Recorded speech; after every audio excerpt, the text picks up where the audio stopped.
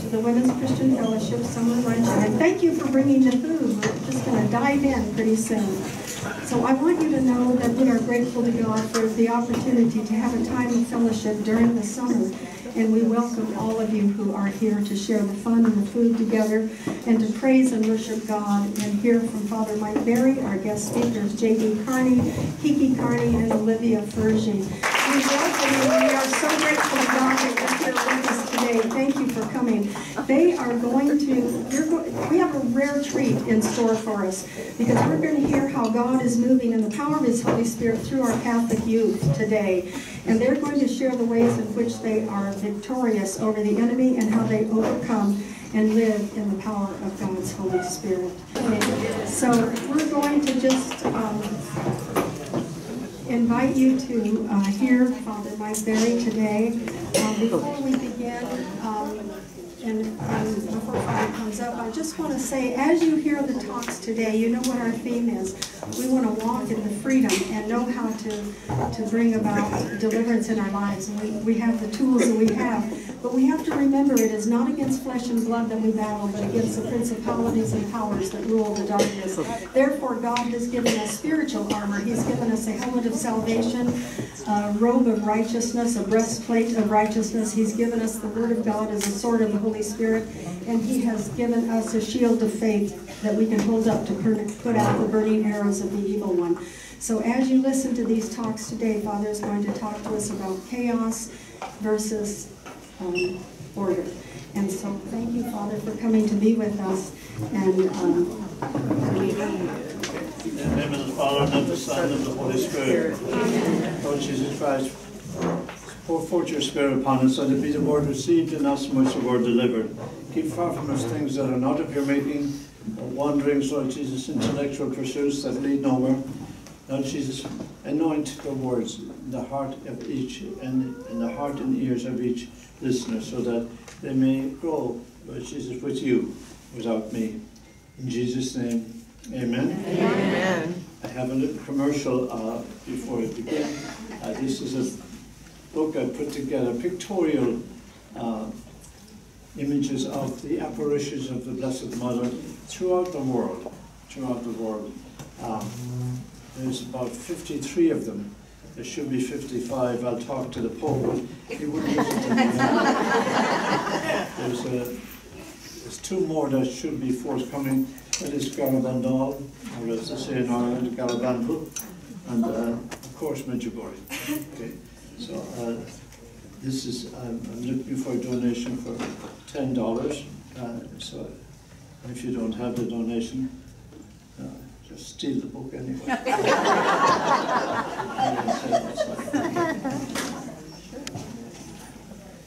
it says in Psalm 94, if today you hear his voice, harden not your hearts. I did a, a mass of generational healing recently. Do you know Jesus? And everybody said, they do. And of course everybody lied. You know your Jesus, but do you know the Jesus of the gospel?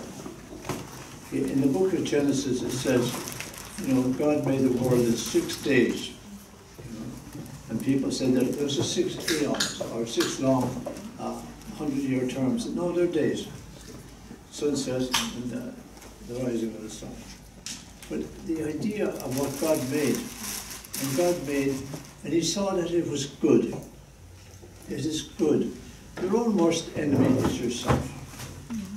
Your own worst enemy is yourself. And you do a job in yourself. You compare yourself with other people. God doesn't compare you with anyone. With Psalm 139, you're fearfully, wonderfully made. St. Teresa of Calcutta said, your greatest sorrows are your greatest joys. About two weeks ago, three weeks ago, I had a, a tough week. I went to the dentist years ago, and I, he said, this, this, this, this has to go. I said, well, what about, you know, root canals? He says, that's the problem, there's no root there. And he said, uh, I said, will they ever be without teeth? He said, no, you'll never be without teeth. He lied to me. About three weeks ago, they were putting in the final teeth, and uh, I got there, and the dentist said, oh, we're putting in the final teeth today. I said, I don't think so. Oh, no, no, we're all ready. We're all ready for it. So, anyway, they couldn't fit them in. So they had to take more impressions, all of that. all that stuff had to go on. And uh, so they put in a temporary. I went down the street about uh, half a mile, get something to eat, and did I know I was going to eat the, the temporary. Just came out right away. So I was like Bugs Bunny for 24 hours. After that, I went in to get gas, and uh, this person was panhandling, so I gave him five bucks. And I went in, closed the car, went in, got the, paid for the gas, pumped the gas, and this gal who panhandled me, she said, can I give you a hug goodbye? You were there? and she reached over me and grabbed my wallet. So, it was a happy day. I lost, there was no money in the wallet. Because I'm that wise. and she, uh, all she had was cars. So we cancelled them all right away. And, so, and the license was in there. So uh, all of that stuff. And Social Security was in there. And the vaccine was in there. So, but she was a good operator. She, she knew exactly what to the hug goodbye. No. But God, when He made the world and He made each one of us, we're fearfully wonderful in Him. We're unique. We're the best person we can be if we can only realize God's order in our lives. And that's one of the primary, primary things to see. God is a God of order. God is a God of order. He made them male and female, Adam and Eve, not Adam and Steve. so he made us in that way that order is always in our lives. Order is always in our lives. But what we have done recently is not only lost the order, but lost a whole lot of things that really fit into God's order. There's no sin anymore. We have taken sin out of the world. The confessions are empty, you know, because people feel, well, I'm not sinning. But we need to see, you know, the power and the presence of God. You know the scripture, it's in uh, Gethsemane. They came looking for Jesus. Okay? A small band. It wasn't a small band, it was a legion. At least a hundred people, if not more. And they say, you know, are you Jesus? Are you Jesus? And Jesus answered what? I am. What is that? I am. That's Yahweh. Yahweh, God. God. See, we miss many times what God has for us. What God has for us. Each day it is what God, the Christmas hymn, do you see what I see? We need to see what the Lord is showing us, what the Lord is showing us, rather than to see what we want to see, what we want to see. And uh, so many times, you know, the whole sense of the order of God. Husband, wife, children. The husband is head of the wife. Okay? She has to do what he says. So, give me a beer, honey. it's a lot more than that. It's things that, again, may conflict, may conflict, and especially, you know, in our day and age, when we have women acting like men and men acting like women, the absence of fathers. And that's not their fault because they they haven't been trained to be fathers. They haven't seen the spiritual effect of, of, of, of a father. I was watching a video recently, and this little girl, she was one minute old, one minute old, and she was crying. And her father said, No, no, I'm here for you, I'm here for you, I'm here for you. And she stopped. Aww. Six minutes later, six minutes later, she cried again. And he said, I'm here for you. I'm here for you. I'm your daddy, and I love you. Her eyes opened up and stopped. We need to hear the voice of God. Mm-hmm. We need to hear God saying, you know, that doesn't fit into your life. I don't know how long it is since, excuse me, I've seen a movie.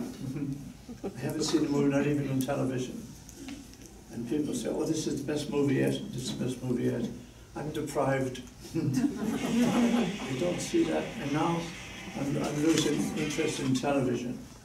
Mm. Because spiritually, we're fighting, as Angie said, not a fight against flesh and blood, but against whole movements. Whole movements.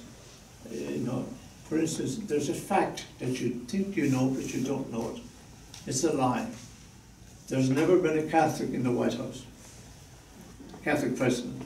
We've never had a Catholic president in the White House. How about John Kennedy? Do you think he was Catholic? Marilyn Monroe says he wasn't.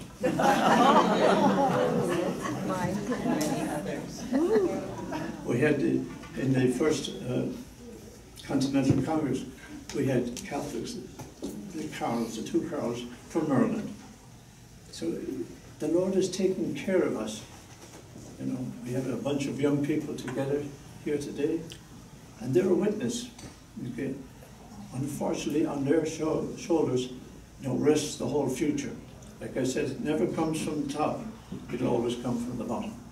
From people who have been convicted, convicted, you know, convicted of God's love, of God's love.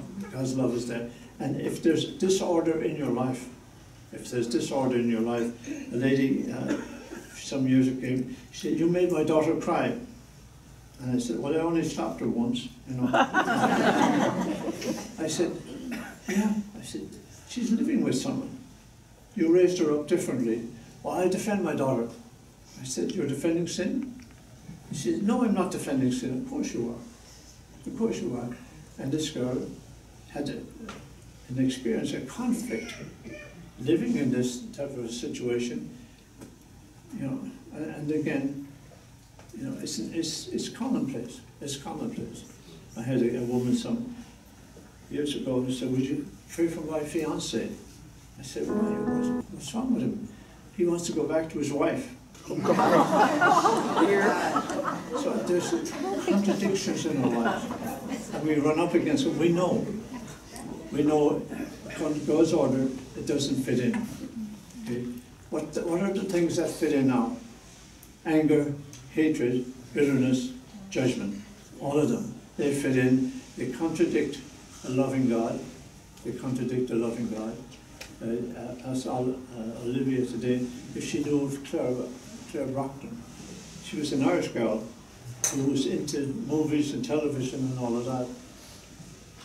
And she was going to bed one night and she looked at the crucifix.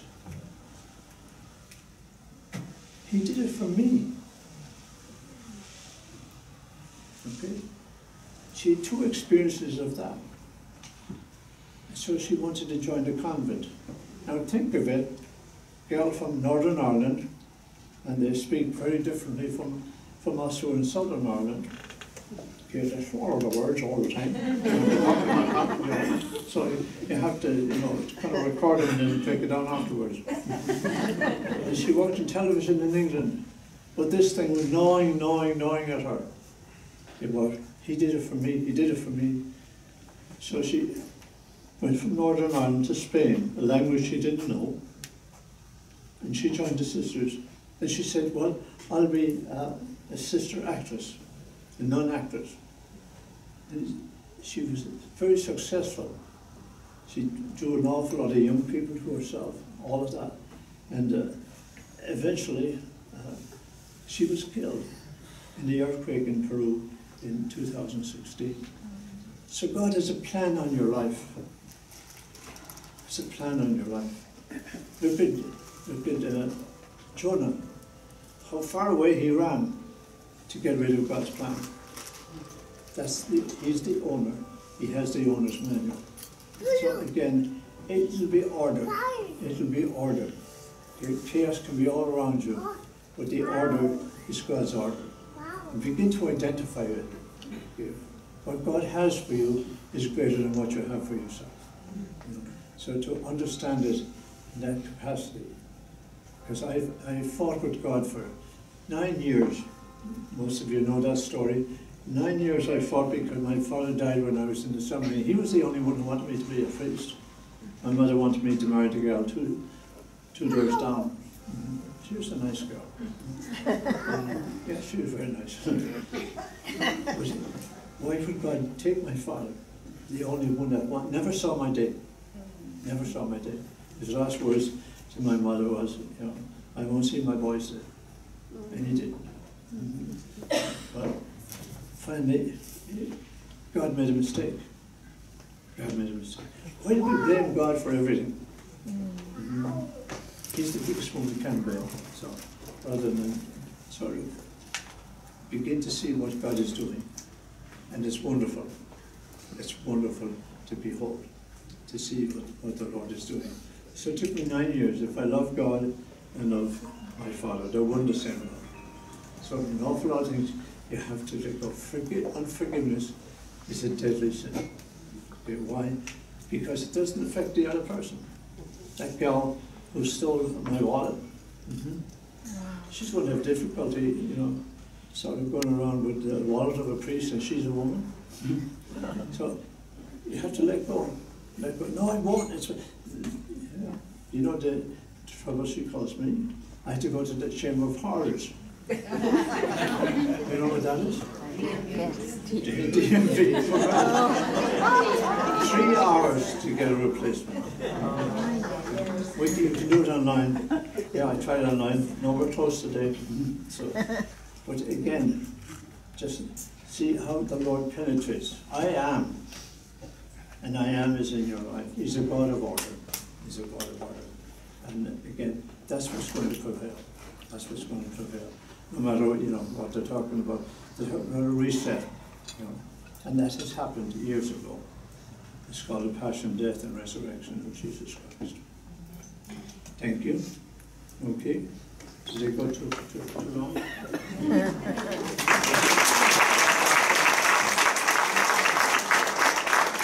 What a blessing it is to have Father with us, uh, always there for us.